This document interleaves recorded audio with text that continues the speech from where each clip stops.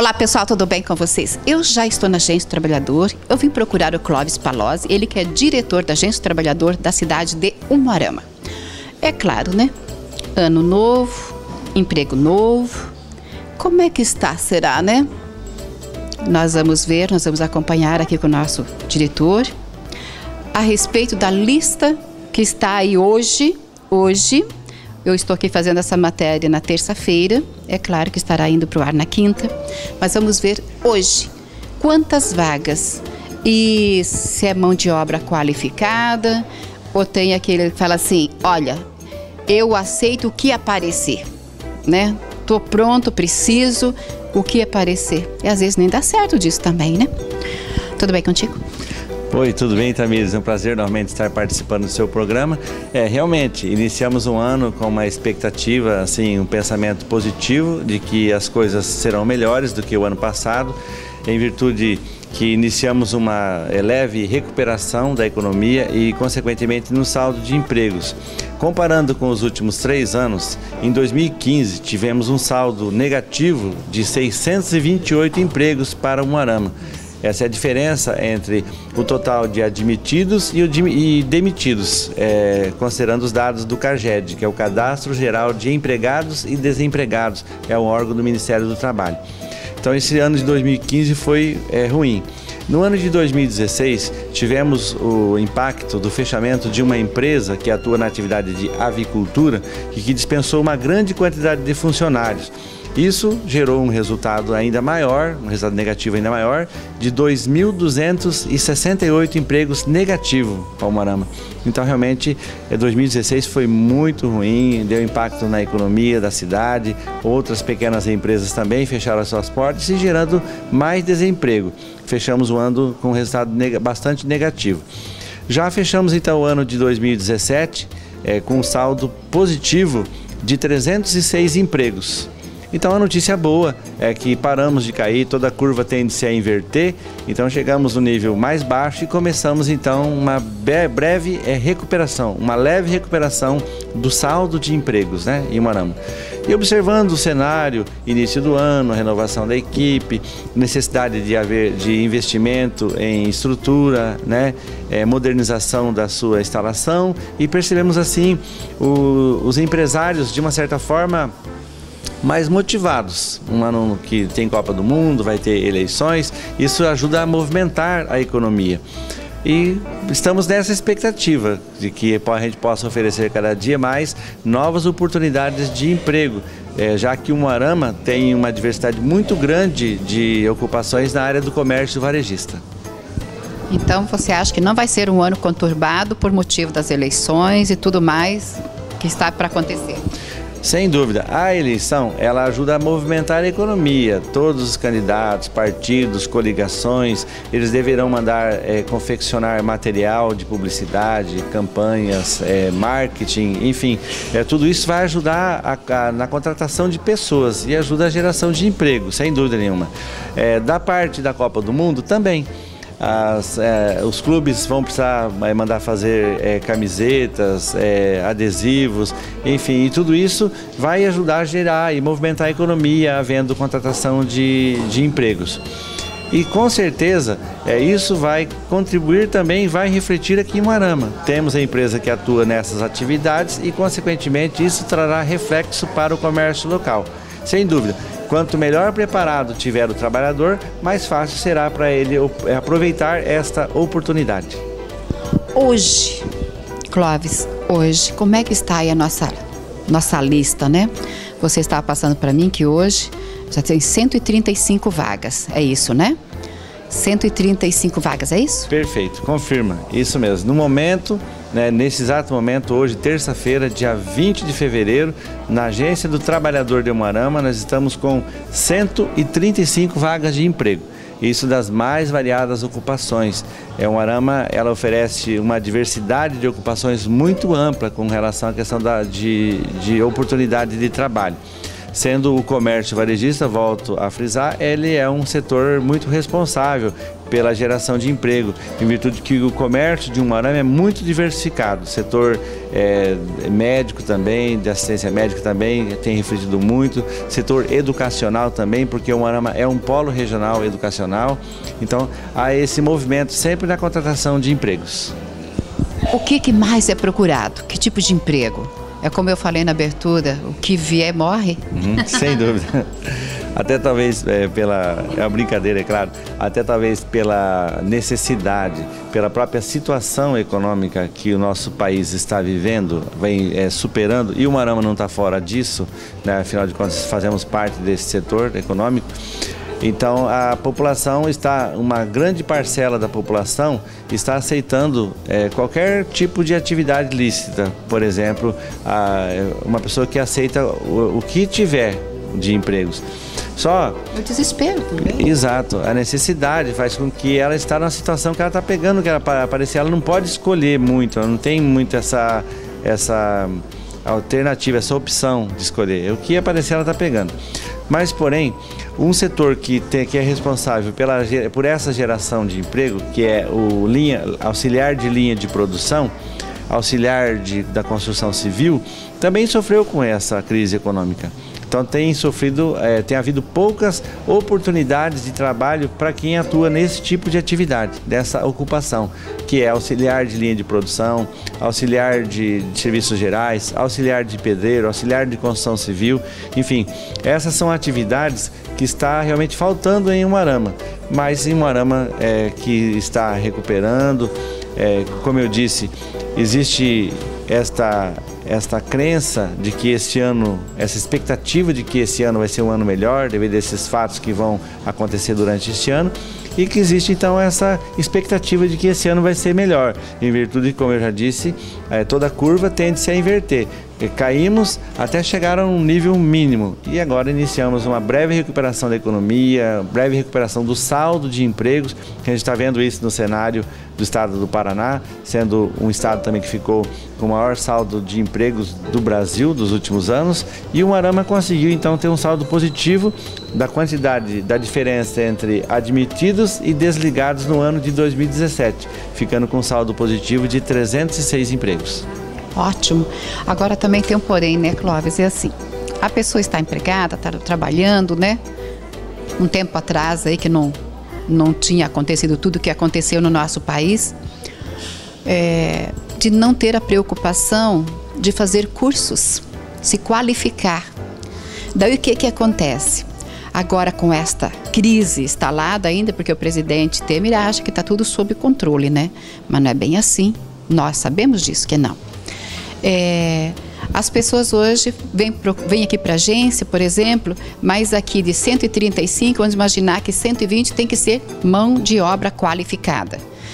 E você não está qualificado, às vezes, para esta vaga. Então, é onde que dificulta muito. Né? Por isso que, é, se você tiver a oportunidade de fazer curso, faça cursos, vá se qualificar. Tem o SENAC aí, que é uma maravilha, né? Para você fazer cursos, que eu admiro muito, meu parceirão, desde que eu cheguei aqui na cidade de Marama. Então, quantas pessoas né, aproveitam para fazer cursos e se qualificando? E é isso que falta às vezes, né? Sem dúvida, a qualificação profissional é uma ferramenta que está a favor do trabalhador. E como você mesmo disse, Tamires, o Marama conta hoje com instituições voltadas a esta área de qualificação Senac, profissional. Como o SENAC para a área comercial, o SENAI para a área industrial.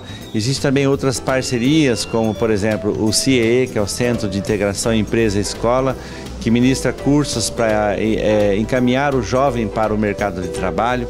Existe a Guarda, a Guarda Mirim, que faz então no sentido de que é, os alunos possam estar um período do dia na escola, no ensino regular, um período do dia fazendo um curso que é ministrado pela guarda e outro período ele está trabalhando numa empresa, no programa Jovem Aprendiz. Então é muito importante para o trabalhador estar inserido em um desses programas, porque quanto melhor qualificado ele tiver, maior será a chance dele ingressar no mercado de trabalho. Então fica aí a dica é, para o trabalhador investir na sua carreira, na sua profissão, identificar a sua vocação profissional e que possa então dessa forma fazer investimento é, nessa área. A agência do trabalhador atua no sentido de apoiar o trabalhador, dar oportunidade para que ele possa então encontrar esses cursos. Aonde está o curso que ele está procurando? Então nós estamos aqui como referência também para encaminhar o trabalhador para essas instituições. Temos aqui é, parcerias com o Sebrae na sala do empreendedor, onde ele pode fazer a forma, formalização da sua empresa no MEI, que é o microempreendedor individual. Ele pode ter acesso a informações a respeito de cursos, é, cur, é, cursos EAD, que é a educação à distância, é, fazer consultorias empresarial né, pelo Sebrae com hora agendada. Também temos a parceria com a Fomento Paraná através do Banco do Empreendedor, onde o microempresário ele tem acesso ao microcrédito com uma taxa de juros específica para financiamento de longo prazo. Quer dizer, é, é um incentivo que é dado para quem é pequeno, que às vezes a, a, o excesso de burocracia impede ele a ter acesso ao crédito formal. Então é um crédito desburocratizado.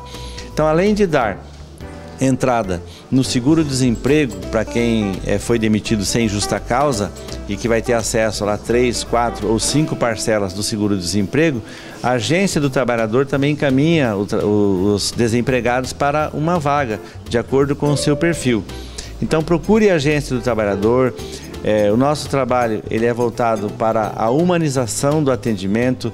A nossa equipe é uma equipe é, treinada, competente, dedicada onde o, a, a, qualidade do atendimento ao nosso cliente, que é o trabalhador, é sempre levada muito a sério, tanto do setor de captação de vagas, quanto do setor da intermediação da mão de obra.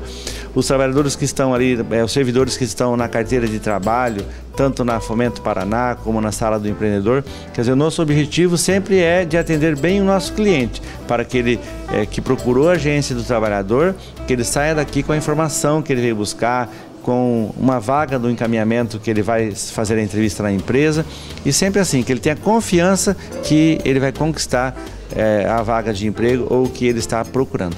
Por isso fica a dica, invista na sua qualificação profissional, defina o foco onde você quer atuar, é, faça cursos, é, procure informação, é, faça igual a própria Tamires disse, é, busque se qualificar. Se você já tem uma profissão, não pare de investir na sua carreira, na sua profissão, porque lembrando que existe vagas em que a exigência não é tão grande, como nós já dissemos, como a, a, auxiliar de linha de produção, auxiliar de serviços gerais, ou outros que não requer uma profissão. Mas o mercado está muito exigente e quanto melhor preparado estiver o, o trabalhador, maior será a chance dele ingressar no mercado de trabalho. E hoje nós temos instalado aqui em Moarama instituições voltadas para, para a área da qualificação profissional, tanto da área comercial, que é o SENAC, da área industrial, que é o SENAI, da área empresarial, que é o SEBRAE. Então nós temos instituições renomadas que estão hoje com instalações que são referências para o Paraná e que precisam de ser é, utilizadas. Nós temos informações de várias instituições aqui instaladas no município que abriram o curso, por exemplo, e não conseguiu fechar a turma por falta de público. Então isso é muito triste quando você é, incentiva, quando você é, busca, quando você estabelece as parcerias e, e atrai para a cidade um certo tipo de treinamento, um certo tipo de, de curso de desenvolvimento e acontece de, de, de não acabar fechando a turma por falta de público.